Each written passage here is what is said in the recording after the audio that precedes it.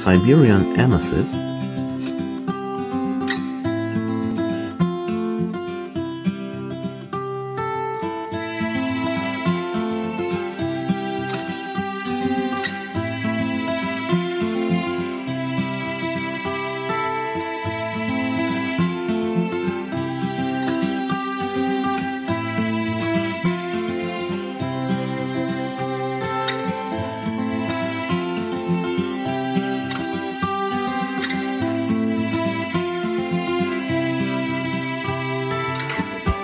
Hey viewers, this week's video is about a legend. A legend? Yes. It is Siberian amethyst and we all know Siberian amethyst with strong purple colors. Today there are not found so intense colors like in the old days, but um, they also found some very nice pieces of amethyst in Siberia. I have some of these crystals, often they have wonderful rainbows in it. Look at this, very intense rainbow effect here. Wanna show you how I use these rainbows in a gemstone. That's always a very nice challenge, because you see, in this case, I choose a rainbow near close to the outer surface of the stone. We wanna check if we can use it or not. Here you see there is also a rainbow. I found a lot of these rainbows in this material, so it's also interesting. Okay, not for a strong color like in the old days, but um, it's pretty interesting, especially for aesthetic cabochons. Simple cuts.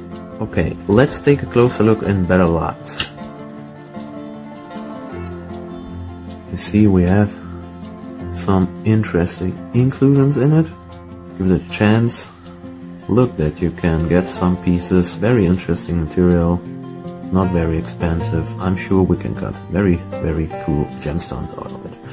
Okay, why I choose this light? Because here you see we have a big crack here and a bigger crack here. Maybe we can see this from another direction a little bit here. Here you see there's an internal crack and a very big one here. So we have to cut or saw away this material here and this material here. Our focus is on the wonderful rainbow here. We have to see a dark reflection in transmitted light. Here it is. There you can see it very good. And I want to use this area as the top of our stone you see we have not a lot material for our dome part here. After the sawing, when we cut off these pieces, we check which form we use for our final gem and hope that we can cut out an aesthetic shape, which means we build up a nice symmetric dome.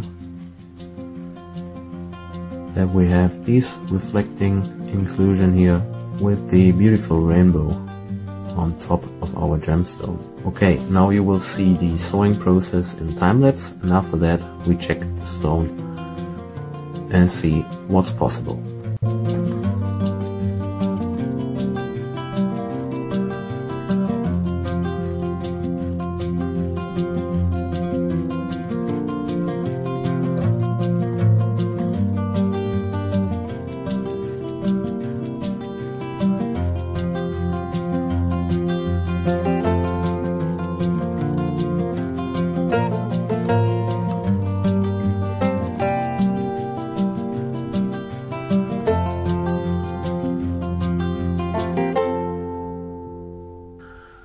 Okay, finished sawing process of our Siberian amethyst crystal. You see, cut off this uh, big cracked part here first. After that we cut him here because we also have a big internal crack in it. During sawing I see or I became the idea to cut this crystal in half. We can cut two stones. Here you see our piece with the dark reflection inside. That's the rainbow. Nice challenge. Also, you see we have a very interesting part here with a lot of tiny rainbow reflections and some cool inclusions. So I decided to cut two stones, made a cab out of this piece and a cab out of our plant you see it, rainbow piece. This piece here, our special piece with this rainbow inclusion, you see the rainbow inclusion right here under the surface of the top of the crystal. We use the highest point of this crystal at our center point for the stone and work out a nice round shape at first. After that we take a look that we work out a symmetric dome out of this material here. It's a small stone but it is a very interesting stone. Now let's check also this piece here. Here we have rainbows on this side, which means take a look that we have this area in our gemstone. Okay, now the preforming, I think I can start on the 120 grit hard diamond disc. If it is too aggressive, I change to the 240. You will see this in the time lapse. Now enjoy the time lapse and we take a closer look at our preforms and see what's possible. Okay,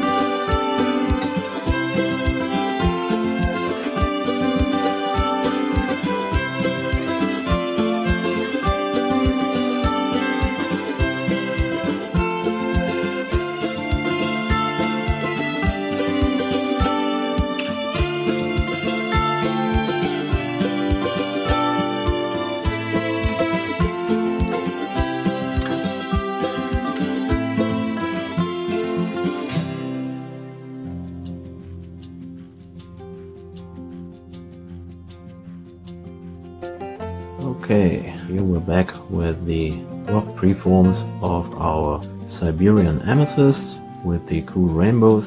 We have a lot of inclusions in our stones, but also you see we not have a lot of color in it, so the inclusions makes them more interesting. And especially this inclusion here, we see as a, as a big reflecting inclusion that's the big rainbow we want to set in the top our cabochon. Also we have here in this zone some tiny rainbows we want to use and some interesting cracks, inclusions. And the next step is I use a 600 grit hard diamond disc to cut out all of these ugly scratches on the surfaces, to cut out grinding lines. We take a look that we cut our surface near 100% round, especially we take a look that we have a near 100% symmetric shape on our stone. And after that I start to using soft pads, start on 600 grit.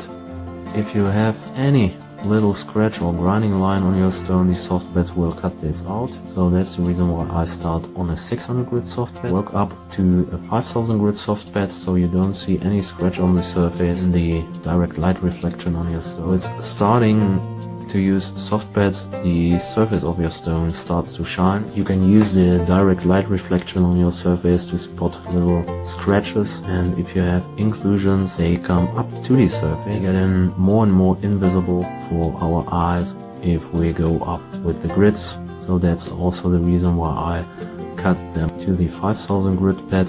For the polishing, I use my hard felt disc with alumina works pretty good for quartz. I ordered also some cerium oxide, brown cerium oxide and some French white cerium oxide. Also would test these both types in later videos. Okay, now first enjoy the time lapse of the final setting, the pre-polishing and the polishing and when the stones are finished our Siberian amethysts here, we check our final results together. Okay, now enjoy time lapse mode.